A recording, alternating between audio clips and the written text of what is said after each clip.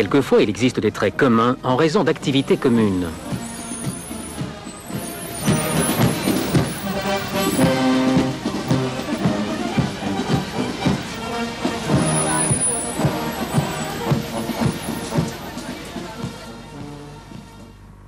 Au travail, les schémas de conduite individuelle ont été modifiés pour s'assurer que le travail est effectué correctement, bien que... Nous avons filmé diverses activités, certaines acceptables et certaines totalement inacceptables. Dans chaque cas, nous avons mesuré l'émission de particules dues à ces activités. Cette opération s'est faite à l'aide d'un compteur de particules laser. Avec des tenues de salle propre correctement portées, le niveau particulaire était très faible. La personne qui se tient tranquille, debout, ne contribue guère à la contamination de la pièce.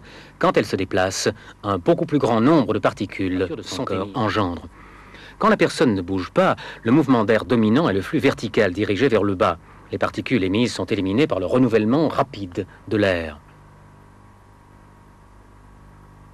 Une personne debout, les bras le long du corps, provoque une dispersion différente d'une personne avec les bras étendus.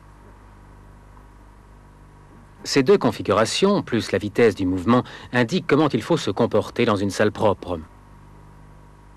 Examinons la vitesse. Les relations entre le corps, la vitesse des mouvements et la zone de travail sont toutes critiques. Par exemple, il ne faut pas se déplacer rapidement vers une zone de travail et s'arrêter d'un seul coup pour se retourner et s'asseoir, car cela crée un tourbillon de particules contaminantes. On doit se déplacer lentement vers le poste de travail, puis s'asseoir sans que les mains ne touchent la chaise, et ensuite rectifier sa position doucement. Voici deux illustrations de la conduite correcte à tenir pour une tâche répétitive.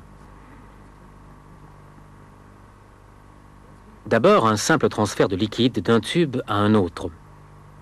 Ce qui se produit dans les applications pharmaceutiques mais peut également arriver dans n'importe quelle salle propre. L'opérateur doit retirer doucement le bouchon stériliser l'ouverture, transférer la solution. Il existe une bonne et une mauvaise manière de transporter les produits dans une salle propre. En dehors de la rapidité, il faut également contrôler la façon de tenir ce que vous portez. On voit ici la façon correcte avec les mains sous le fond du panier, porté suffisamment haut. Une mauvaise manutention du panier, celui-ci est porté trop bas et risque une contamination. Nous avons quelquefois besoin de tousser trop souvent. Voilà comment vous devez être.